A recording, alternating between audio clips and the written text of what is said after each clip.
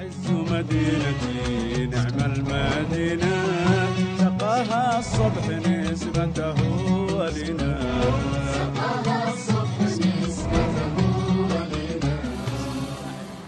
ومرحبا بكم مشاهدينا في موعد جديد في رحاب الحالمة. مواضيع عده ستشكل بناء هذه الحلقة. في أولى المواضيع سنسلط الضوء على احتفالات تعز بعيد الأضحى المبارك وسيكون لنا لقاء مع أحد المختصين للبحث في تأثير هذه المناسبة على تعزيز الروابط الأسرية والمجتمعية. كما سنعيش وإياكم أجواء مهرجان قلعة القاهرة الفني الرابع وما يحمله من رسائل سلام. كما سنتعرف في وقفتنا الأخيرة على عمل إبداعي يسقطه فنانون بالألوان ليرسمون به فرحة على وجوه وقلوب الصغار. فكونوا معنا.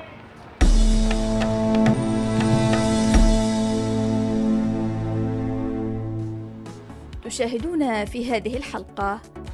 تعز تحتفل بعيد الأضحى المبارك وتحيي أولى الشعائر بالصلاة في ساحة الحرية. في أكبر تظاهرة فنية تعز تغني من على مدرجات قلعة القاهرة التاريخية والمهرجان الرابع يستقطب الآلاف.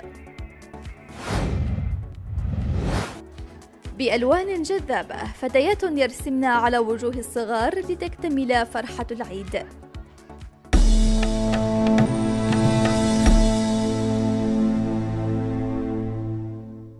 مشاهدينا شاركت تعز العالم الإسلامي احتفالاته بعيد الأضحى المبارك وشهدت ساحة الحرية حضور الآلاف الذين أدوا صلاة العيد جماعة في مشهد يعكس روح الألفة ويعزز العلاقات الأخوية والمجتمعية بين سكان المحافظة.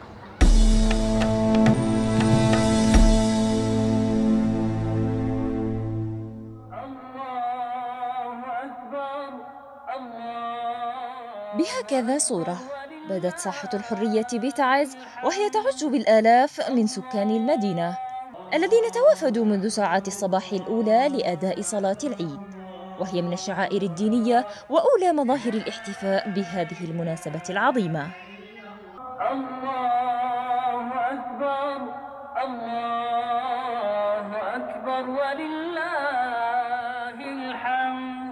إذ لم نكن نتوقع هذه الفرحة في ظل الاحتلال في ظل الاعتداء الحوثي والحصار على تعز لكن ساحة الحرية اليوم كانت كأنها في بداية ال- ال- ال- الثورة.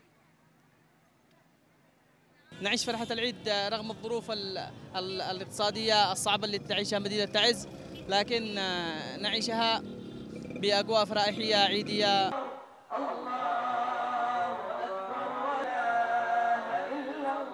المناسبة التي تصادف إجازة رسمية وجد فيها الكثير فرصة للحضور والصلاة مع الجمع فامتلأت الساحة بالرجال والنساء الكبار والصغار. حضور جسد من خلاله أبناء تعز مدى حبهم للحياة واستطاعوا بزخم الجمع رسم صورة عن كيفية الفرحة التي يعيشون لحظاتها رغم ما تمر به مدينتهم من أوضاع. ما زلنا رغم الحرب نفرح. ونبني من الضياع أمل. وها هنا نحن اليوم في ساحة الحرية في تعز. نعيش فرحة العيد وأجواءه. ونقول لكم كل عام وأنتم بخير. أهلنا في اتجاه ونحن في اتجاه آخر. لكن مع هذا سنعيش الفرحة. صامدين شامخين ثابتين.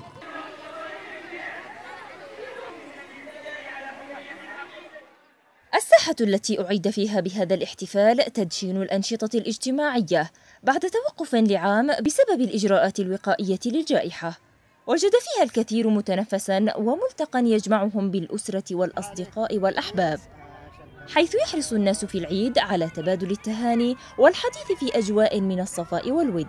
كما ويلتقطون الصور التذكارية في مكان له رمزيته الخاصة. الساحة امتلأت تماما. فرحة الأطفال فرحة النساء فرحة الكبار فرحة الشيوخ فرحة الصمود فرحة ال- الحرية فرحة الكرامة. الأطفال عبروا بطريقتهم عن الأجواء التي يعيشونها رغم تراجع الكثير من الطقوس والعادات الاجتماعية في هكذا مناسبة. العيد هو كل فرحة هو أسعد شيء هو أسعد لنا. هو أسعد كلمة. هو أجمل شيء نراه دائما. صفت إني أجيت من عدن لتعز أول مرة. شفت الأجواء بتعز. يعني رائعة جدا و... و... والاحتفالات وصلاة العيد. تأتي هذه المناسبة وتعز تعاني من وطأة ظروف اقتصادية صعبة. ناتجة عن أسباب كثيرة بفعل الحرب والتي أدت إلى انهيار العملة وانقطاع مرتبات الموظفين.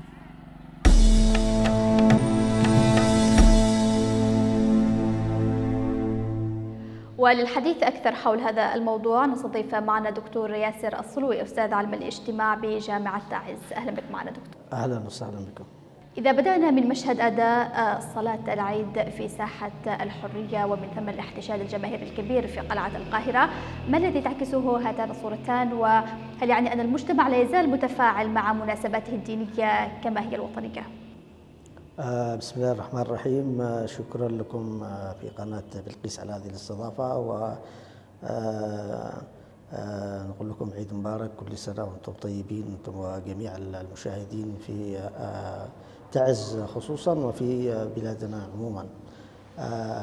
ما لا شك فيه بأن مثل هاتين الفعاليتين اللتان كانتا في مناسبة عيد الأضحى المبارك تدل دلالة كبيرة على حيوية المجتمع التعزي وتفاعله في كل المناسبات المناسبات سواء كان في المناسبات الدينية أو غيره من من المناسبات الوطنية والتي نرى حشود كبيرة لحضور مثل هذه المناسبات والفعاليات وإحيائها بما يعكس تطور ثقافة المجتمع التعزي وتشبثه باغتنام كل الفرص والمناسبات الحيوية للتعبير عن حضوره وعن فعاليته نعم. رغم الحرب والحصار وانهيار قيمة العملة المحلية وما تسببت به من ارتفاع جنوني في الأسعار هل يعني مع ذلك الناس يحرصون على إحياء مناسبة دينية كعيد الأضحى المبارك كيف يمكن قراءة هذا الأمر من جانب اجتماعي كمختصين في علم الاجتماع؟ بكل تأكيد بالنسبة لعيد الأضحى هو عيد ديني مهم لليمنيين والمسلمين بصفة عامة ولذلك يحرص المجتمع على على يعني على الحضور في في هذه المناسبة والتعبير عن فرحته وبهجته بمثل هذه الأيام الدينية أو المناسبات الدينية. من خلال المظاهر المختلفة سواء كان عبر صلاة العيد التجمع زيارة الأهل والأصدقاء زيارة الحدائق العامة بطبيعة الحال من جانب السوسيولوجي هذه المناسبات هي فرصة للتفاعل الاجتماعي فرصة لزيادة العلاقات الاجتماعية والحضور الاجتماعي وزيادة التواصل الاجتماعي ما بين أفراد سواء في إطار الأسرة الواحدة أو على مستوى المجتمع ككل. هي مناسبة أيضا من منظور اقتصادي لإنفاق أو حركة إنفاق كبيرة بسبب ما يتم إنفاق جزء كبير من مدخرات الناس على مثل هذه المناسبات سواء شراء الملابس والاحتياجات العيد. فهي فرصة ل... نعم ولكن على ذكر هذه النقطة تحديدا كثير من الناس في تعز مع حلول عيد الأضحى لهذا الموسم. لا يعانون من عدم القدرة على شراء احتياجات العيد كالملابس والأضاحي هل من تأثيرات وانعكاسات نفسية على هؤلاء المحرومين؟ بكل تأكيد محافظة تعز تكاد تكون الأكثر معاناة من بين المحافظات الأخرى بسبب الحرب المستمرة منذ ست لأكثر من ست سنوات. أضف إلى ذلك الحصار المفروض على هذه المدينة وهذا يلقي بظلاله على زيادة معاناة المواطنين في في مدينة ومحافظة تعز مقارنة بالمناطق الأخرى. بكل تأكيد سواء فيما يتعلق بحركة التنقلات أو ارتفاع أسعار السلع والتي يعني هناك أسعار مضاعفة لهذه السلع بسبب اجور النقل وغيره. فبكل تأكيد مثل هذه المضاعفات تلقي بظلال على المواطنين وخاصة من ذوي الدخل الدخل المحدود والذين يعني لا يمتلكون دخل كافي للإنفاق في هذه المناسبات.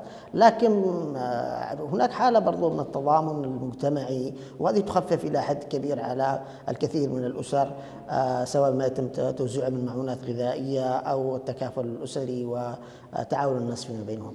من منظور اجتماعي دكتور كيف يمكن تعزيز القيم والعادات المجتمعية الإيجابية بشكل يجعلنا نحافظ عليها خصوصا مع وجود مهددات واقعية كالحرب وما تحدثه من ضرب في النسيج الاجتماعي وآثار ذلك على المستوى البعيد.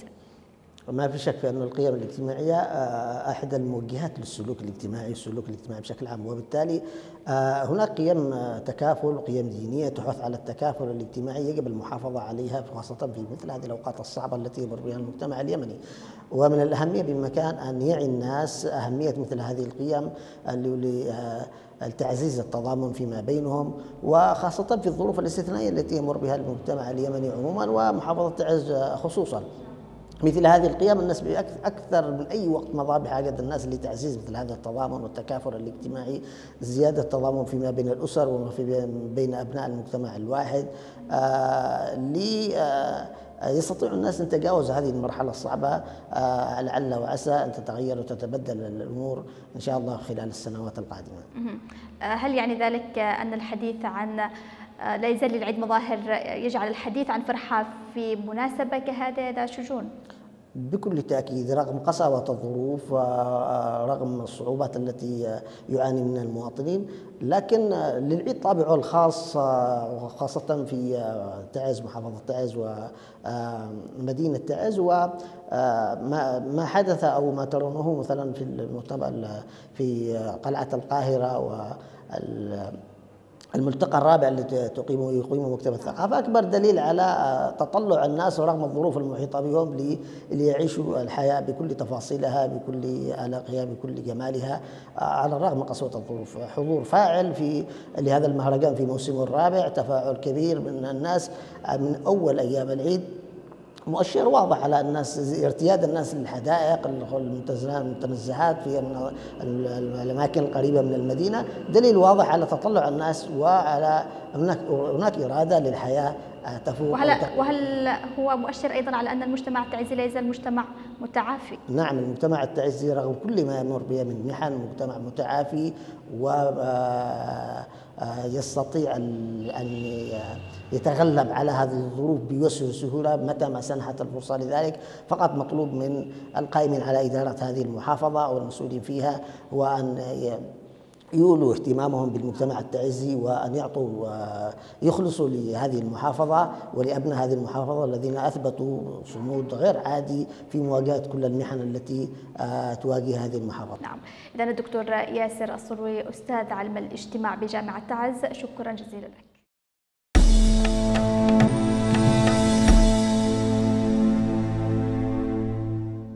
مرحبا بكم من جديد في أكبر تظاهرة فنية بتعز احتضنت قلعة القاهرة المهرجان الفني الرابع بمشاركة الفرقة الموسيقية والفنية التابعة لمكتب الثقافة بالمحافظة وفنانين يمنيين. وحظيت فعاليات المهرجان الذي ينظم على مدى أيام باهتمام وإقبال الجماهير. نتابع.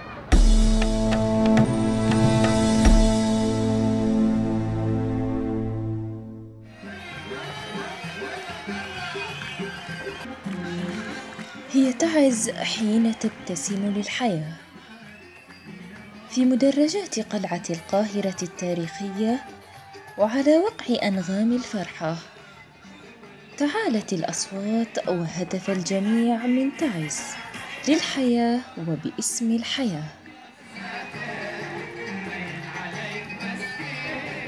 في أحد أهم وأبرز المعالم التاريخية في هذه المدينة وتزامنا مع فرحة عيد الأضحى المبارك. كان المكان يضج بالهتافات وصيحات الآلاف من عشاق الفن والطرب ممن تستهويهم الأصوات العذبة ومعها يقضون أمتع الأوقات.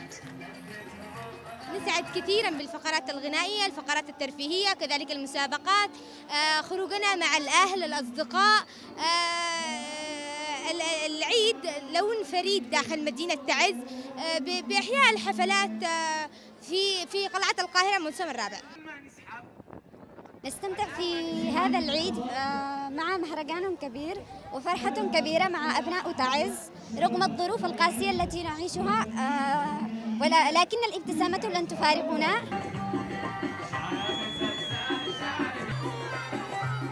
مهرجان قلعة القاهرة الغنائي.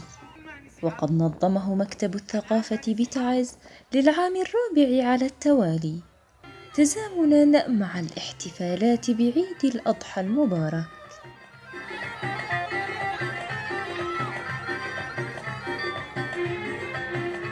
فرحة واحدة قلب واحد. شعار الحدث الأبرز في هذا الموسم. حدث حمل رسائل عدة. أبرزها تأكيد عودة الحياة إلى تعز وعشق أبناء الحالمة للفن والسلام. مهرجان قلعة القاهرة آه، في موسمه الرابع آه، وفي ملامحه الجميلة آه، أصبح يحمل رسالة جميلة عن تعز الحياة تعز الثقافة تعز الفن رغم كل المنغصات المحيطة. جاء المهرجان وسيستمر. أصبح أيقونة تعزية جميلة جدا.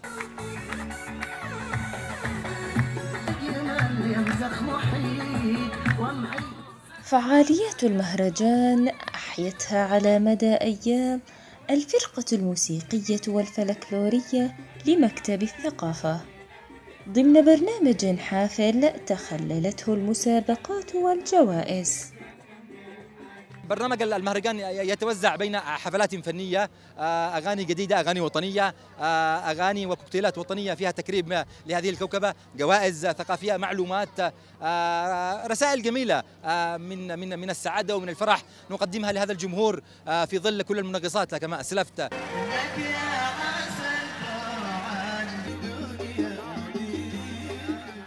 حظي المهرجان باهتمام شريحة الشباب. مع مشاركة الفنان اليمني عمار العزكي فعاليات الحدث الأكبر على مستوى المحافظة. وقدم الفنان عددا من الأغاني التي ألهبت حماس الجماهير.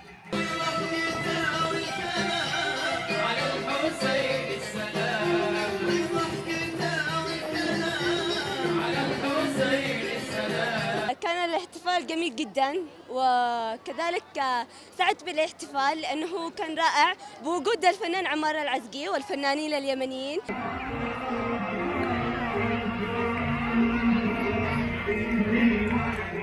على جدران المدرجات رفعت صور فنانين وشعراء كبار. تقديرا لجهودهم في إثراء الساحة الفنية كلمات وغناء ولحن. هذا العام آه، قدمنا رسائل آه، نكرم بها آه، كثير من نجوم الفن والثقافة القدير أيوب طارش عبسي احتفاء أيضا بالراحل الكبير عبد الله عبد الوهاب نعمان الفضول في ذكراه إذ أنه في هذا الشهر من يوليو وفي خمسة منه كانت ذكرى وفاته. نحتفي بالموسيقار أحمد فتحي نحتفي بالفنانة القديرة أمل كعدل ونقدم رسائل تضامن ومحبة ونجدو كل يوم لهذا النجم ولهذا الرمز الثقافي الرائع.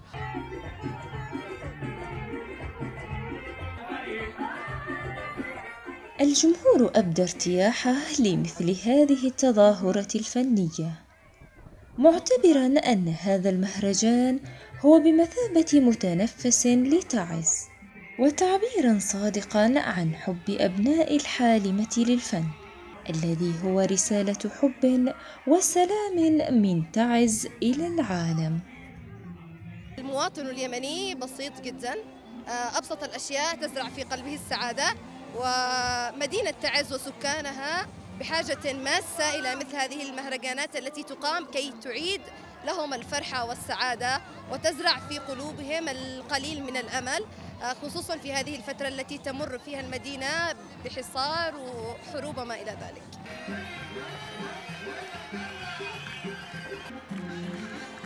الجميل في هذا المهرجان رسالته الإنسانية المعبرة عن الأمل.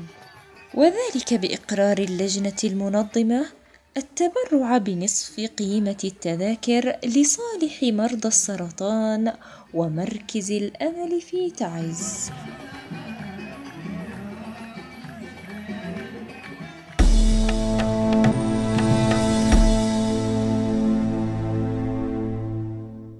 تعتبر الحدائق والملاهي وجهة الأسر المفضلة لقضاء إجازة عيد الأضحى المبارك. ولأن الصغار هم من تحرص الأسر على إسعادهم في مثل هذه المناسبات فإن التشكيل على الوجه ورسم الملصقات المفضلة هو ما يجذب الكثير. في الفقرة التالية سنسلط الضوء على جهود بعض الفنانين المبدعين في رسم الفرحة على وجوه وقلوب الصغار.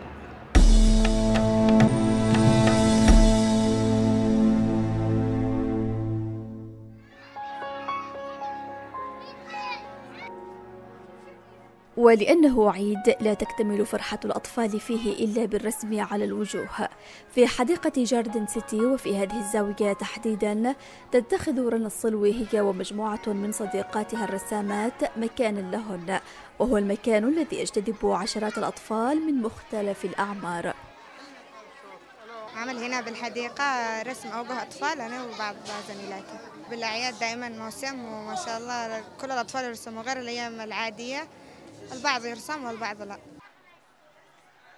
الأطفال تحسهم ينبسطوا بالرسومات حتى إنه يعني تشوفهم أول ما يخلصوا على طول يروحوا يقروا ويلعبوا كذا فدائما تشوف البسمة أول ما يخلصوا يرسموا. تعتمد رنا على الألوان وعدد من الأقلام والفرشاة في وضع لمساتها على وجوه الصغار. تقول رسامة إنها وزميلاتها يعملن على إسقاط الأشكال المرغوبة لدى الأطفال وتمييز وجوههم بها بما يزيد من سعادتهم ويرسم الفرحة على قلوبهم وملامحهم. نحتاج اللماع والريش والعلب والألوان. نصحتني في بهم واحدة هي رسامة كذا يعني دارسة جرافيكس ناخذهم مائية يعني أول ما تغسلها بالماء يروح على طول. الأغلبية يطلبوا فراشات ولا قطط والأولاد يطلبوا الجوكر. الكثير من الأولاد يفضلون رسمات الجوكر وهي شخصية مستوحاة من مسلسلات الأطفال فيما تميل الصغيرات إلى رسومات الفراشة وغيرها من الأشكال التي تناسب أذواق الفتيات. الأطفال غالبا ما تقدر تقنعهم أساسا. لو جو يرسموه لأنه في أطفال يتابعوا الكرتون فكل واحد يجي يشتري رسم الرسمة اللي هي حق بطلة المفضلة. أحب أن أرسم بوجهي رسمة الجوكر. عشان أفرح بالعيد.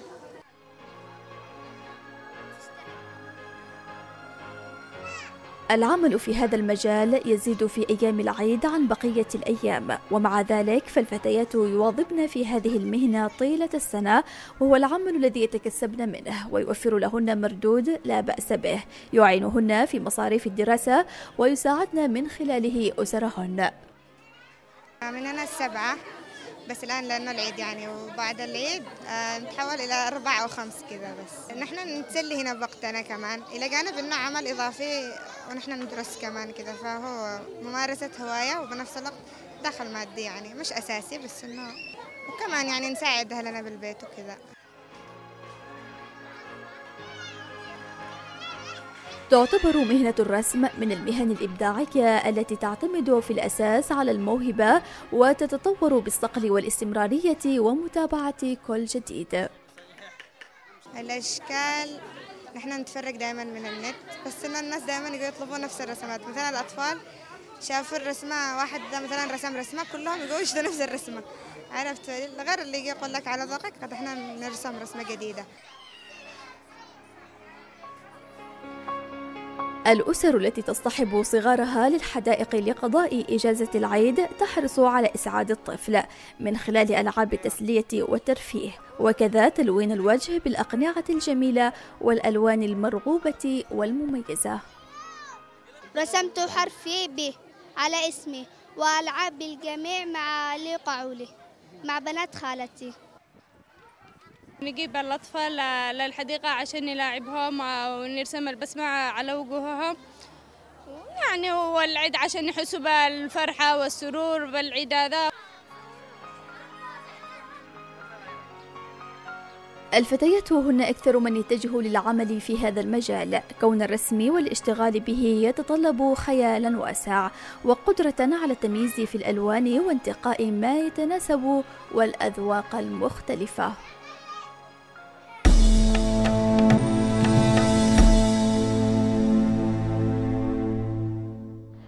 نكون وإياكم مشاهدينا قد وصلنا إلى ختام حلقتنا لهذا الأسبوع. حتى الملتقى في حلقة مقبلة استودعكم الله.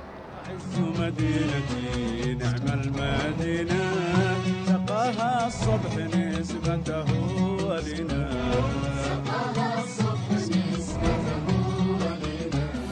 عز مدينتي نعم المدينة. سقاها الصبح نسبته ولنا.